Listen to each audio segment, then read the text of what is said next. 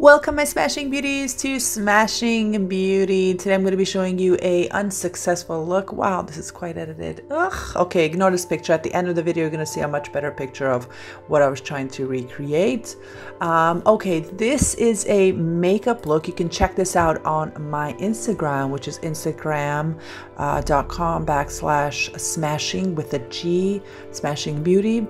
And this is from an artist called miles art on instagram. I have have tagged uh, him on my Instagram and he does this fantastic uh, realistic kind of like art so make sure to check that out.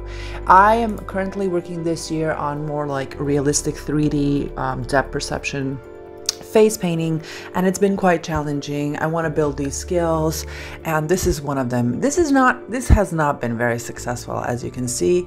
I'm not too pleased with it, but what do you think? Maybe you liked it. Let me know. Uh, so I am using, as you can see, makeup for shadowing right here, you can see. And I'm going to be also using makeup, meaning eyeshadow for highlighting. Everything else that I will be using to create this look is going to be with um, face paints, which I personally love. I still have to invest in better quality face paint brushes, which I don't have.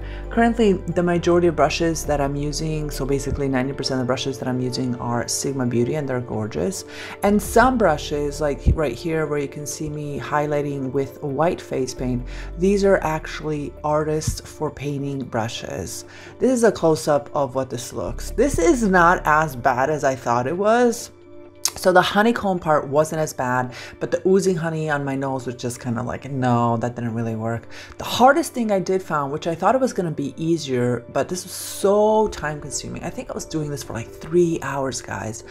I was so psychologically exhausted. The hardest thing was actually recreating my face on the side of my face and later on you're going to see that ah, the worst thing for me here wasn't even the nose. I was really struggling with making a 3d nose because I have never ever done that ever done that. And that was like wow this is much harder than I thought. Maybe if I was doing this in somebody else's face um, it would be easier because I didn't have to do it backwards but doing it on my face I just found it super challenging and almost impossible.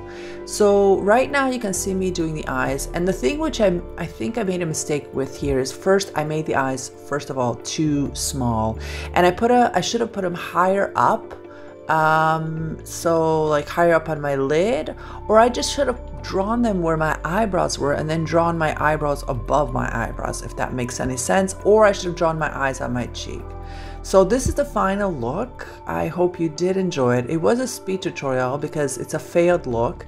But if you don't think it's a failed, if you like it, please let me know in the comment section below. And also, do you like do you like um, recreating realistic or more 3D face paint looks? Thank you guys so much for watching. Don't forget to subscribe, like, leave a comment below, and follow me on my Instagram, Twitter, and all those other medias and Facebook. Almost forgot that. Thanks, guys. Bye.